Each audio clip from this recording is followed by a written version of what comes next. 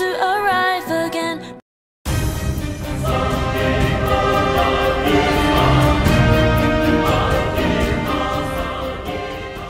All right, guys, Ripple Deck. Uh, Merry Christmas and all that jazz. Uh, honestly, this Ripple Deck isn't quite complete.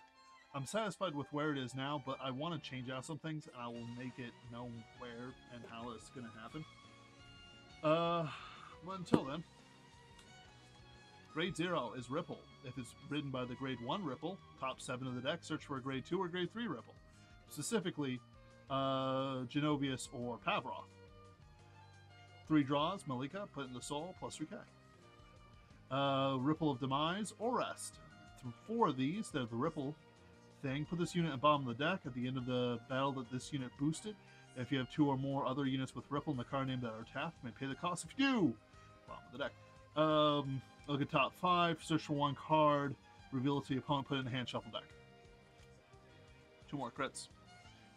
Uh, then we have three crit triggers that go into the soul to turn up a damage. Honestly, I won't really need these too much just in case. Uh, Legs McGee, some of the finest art that's ever been made for uh, Aquaforce heals. But the Blue Storm Aquaform is pretty nice. Just my type of woman.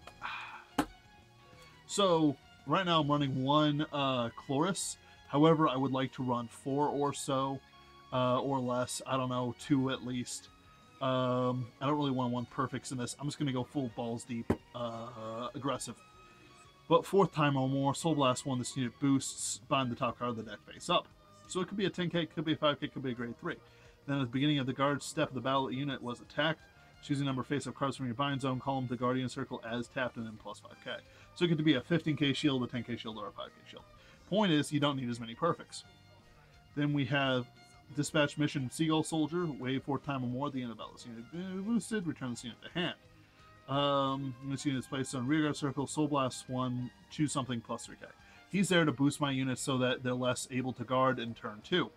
Three perfects, again, I'm going to turn themselves into something else later on when I figure them out.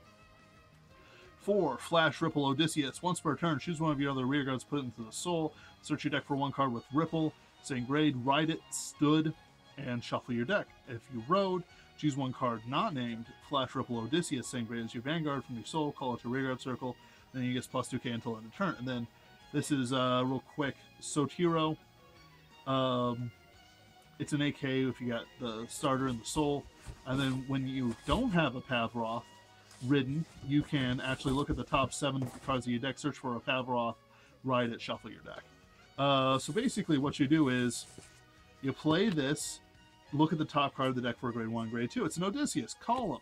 Use his ability to send this into Soul, ride a Pavroth, send it back out. Um, and then sum this out and get another card. Oh, hey, look! It's another Sea Turtle Rescue Soldier. Oh, look, it's another Odysseus. You see where this is going. Uh, this is a BS card. This is a real BS card because it can repair field even though when I've killed everything. Um, I built a deck that was designed to just kill everything all the time. And it did kill everything all the time. But this and this can repair the field. It's pretty impressive.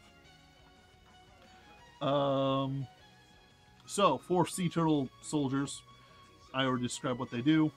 Three Tidal Assaults. I don't like Tidal Assault. Maybe you should run four. Uh, but I just, it's not something I enjoy. I don't like the fact that he loses 5k, and I prefer other dudes. Maybe I should just run three of Lapis, Unruly Ripple if it attacks, two or more tapped with Ripple, uh, gets plus 3k. So it's 12k attacker at some points. Pavroth. Uh, it's a 10k uh, with Sotirio in the Soul. Uh, will see you attack. It's a Vanguard if you have a card named Silent Ripple Sotirio. Choose an Aqua Force Rearguard, stand it, plus 3k. If you do this right, you can one turn kill them from zero. Not even joking. So basically, what you do is you say you attack, they take it. You attack with Pavroth, and they take it. Um, and then you put the crit on there, and that's five damage. And then assumes that you have something else here that also hit. But you know, from a full field, it can be go down all the way to zero. Especially if they don't get any triggers, and especially if you like put it on Tidal Assault like the asshole I hope you are. Um, finally, for Genovius's, I'm not running many grade 3s because this thing laughs at grade 3s. If I don't run the grade 3, they can't stride or legion, which means they can't do shit. Um, boom. Counterblast 2, discard a Genovius. Uh, choose a battle unit, was attack to Vanguard. Number of tapped Aquaforce in your rear guard, uh, front row is 3. You pay the cost if you do Sandal units. Uh, Sandal Aquaforce rear guard, excuse me. And then it gets an 11k power off of So pretty good. Uh, I like him. I, I run four of him for a reason. I was running him before Ripples. I just want to make that very clear that this is no bandwagon I'm getting on. I was already on the bandwagon. Um, I am the original hipster of Cardfight. Yeah, damn straight.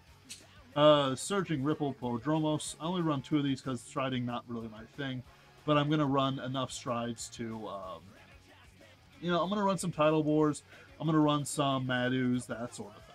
But forgetting that and the new guy, uh, choose a face down Surging Ripple Prodromos.